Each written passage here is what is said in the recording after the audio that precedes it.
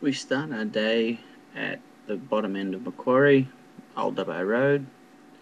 Um, it's now opened up. I think they're down there fixing a little bit, I'm not sure. You can see where the water was being. Now this is down uh, junction of Tamworth and Macquarie. A lot of water has dropped here, but look, grass, mud.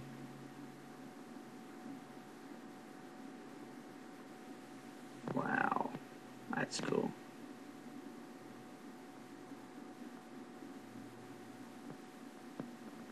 Uh, Street, uh, where I'm standing now, couldn't couldn't get before. It's in the water. You actually get down there. Uh, just up here, that's where that little grass bit was. It had a nice flow on. All excited and show was just in between those two trees. So I'm going to try to go down there and see it's down there. Okay, here we are down at um, the walkway bridge between south and west. That's where it is there, under the water, right there. Gone. At least we can get down here and show you anyway. Trees seem to be gone. So she's uh, flushed downstream a little bit. Wow, it's got a nice steady flow on. This fence has been moved by lovely log tree, what do you want to call it. As you can see, it's taken out a seat. Lovely. Mm.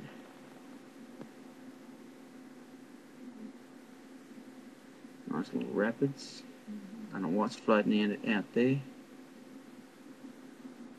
Here we are at um, Lady, Lady Cutler Fields.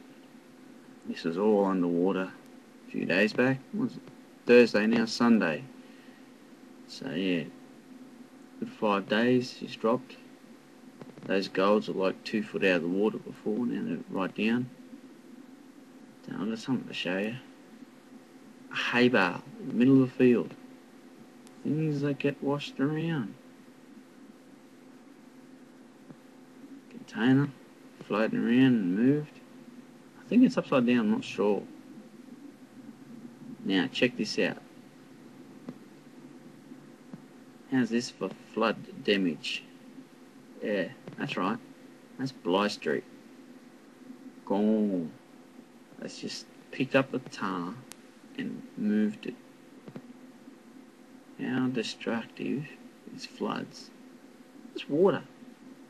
All these water forces. So yeah, I'll just get up there a little bit more and I'll show you. I'll get up there where that sign was. That's Bligh and Macquarie Street where um, there's the middle of the road, and you see that white line? She's being put over on the curb. Uh, it's the same damage, similar damage to what was um, by between Maduran and Donnydoo. This is Carl's Target's car park, which I couldn't get to before, but that's what the water's still remaining.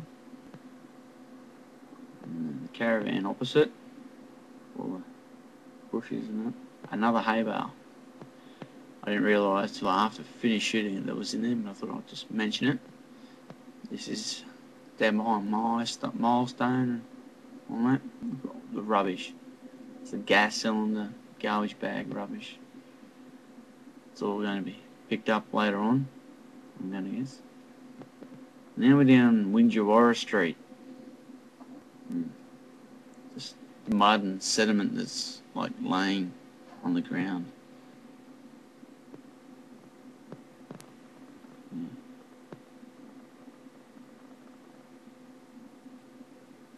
Smells like um, dirty water down here. Lovely. Uh, now we're back on Bligh Street. Showing you it's still underwater down behind ANZ and Church Street. It's the closest intersection I can think of. The little picnic area is still a little bit there, just, just a little. Yeah. Once again, we find ourselves behind or down the bottom end of Talbragar Street. And uh, over here, there is a skip bin floating in midair. Nah, it's jammed between signpost and a tree. I think it's actually tied onto a tree. Must have been when the water level was up that little bit. Someone might have tied it on there. SES or something, I'm guessing. Just a guess, don't quote me on that one. Uh, these signs, they were just poking out of the water before.